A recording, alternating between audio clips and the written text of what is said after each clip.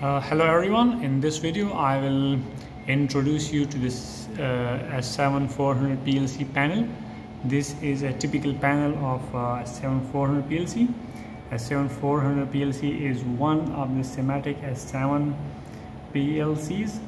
Uh, we have three racks in these two panels. This is the rack 1, this is the rack 2 and this one is the rack 3. Uh, so let's introduce you to each module of this panel. Well uh, starting from the top this is the S7 uh, uh, this is the SITOP power supply.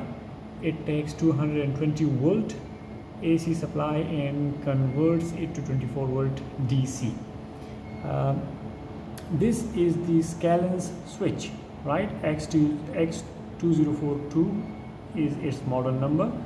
And uh, its job is to connect the S7400 PLC into a network right? Since it is a DCS the PLC the S7400 PLC in this panel is connected into a network of PLCs and HMIs right? So this PLC is a node in the DCS network. And this PLC is connected into the network through this Scalance switch. You can uh, see the Ethernet uh, cable going into this switch and the uh, fiber optic cable. These are the fiber optic cables uh, from uh, both sides of the ring network, right? The, the PLCs are connected into a ring network. This is a DC UPS, right? Its job is to make this Scalance switch alive right? Because we do not want the Scalance switch to go off right? The power must be uh, 24 by 7 right? It must be energized all the time. So the DC UPS this UPS actually uh, uh, charges this uh, SITOP UPS 1100 battery right? And uh, keeps the Scalance switch alive. Uh, next up is the first module in this first rack. You can clearly see PS407 20 ampere. This is the power supply module right? It takes 220 volt AC and uh, through backplane bus it is energizing the CPU, communication processors and the rest of system modules. So this is the uh, power supply module PS407 20 ampere. Its rated capacity is 20 ampere. You can see various uh, um, indicators internal fault battery fault battery 1 fault battery 2 fault dc 5 volt dc 24 volt and some switches power on power off switch. If you look at the uh,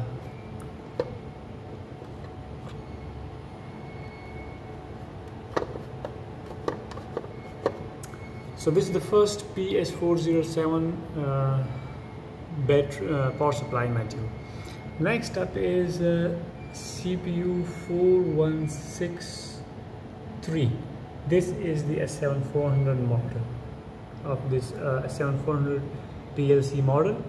It has a couple of indicators internal fault external fault bus 1 fault bus 2 fault force run stop and a switch to turn this PLC into stop mode and memory reset.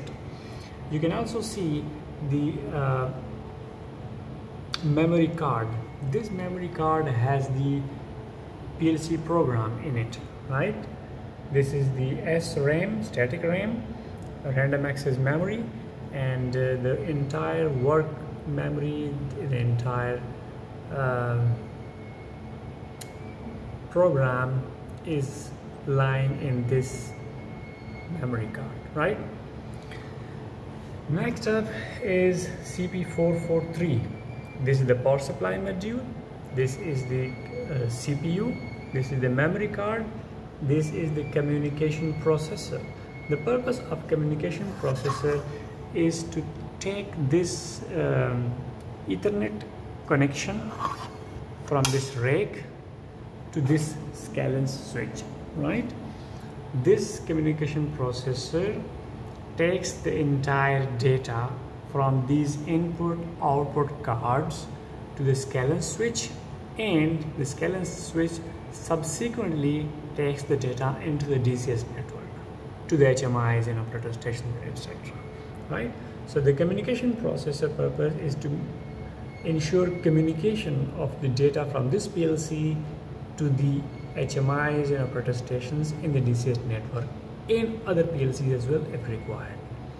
This is an additional communication processor and uh, we have installed it here for the connection of various sensors which are directly coming to this PLC, right? So this CP module is for the communication of uh, few temperature and pressure sensors which are connected to this PLC through Profibus PA network. Okay, so the, the rest of the modules you can see AI8 cross 13 bit. These are the analog input modules which communicate sensors like temperature, pressure, flow, level sensors to this PLC through this through these analog input cards. So they, these are the analog input cards. Uh, right from here you can also see analog output cards AO8 cross 13 bit. It means every analog output card has 8 channels and every channel resolution is 13 bit. So these are the analog input and analog output cards in this rack of S7 400 PLC. Coming to the rack second, in this rack we have digital input modules. If you look at the description of each digital input module, you can see digital input DI 16 cross UC 24 volt to 60 volt. It means each card, each digital input card has 16 channels, i.e.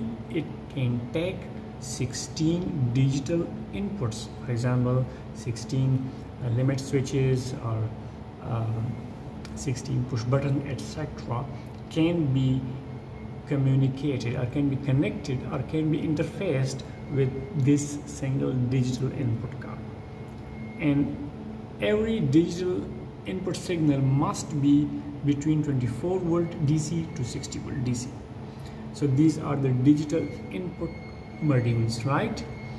And uh, right here in the third rack we are having digital output modules. The same is the case with digital output module. Each digital output module has 16 channels. You can see 16 cross DC 24 volt slash 2 ampere.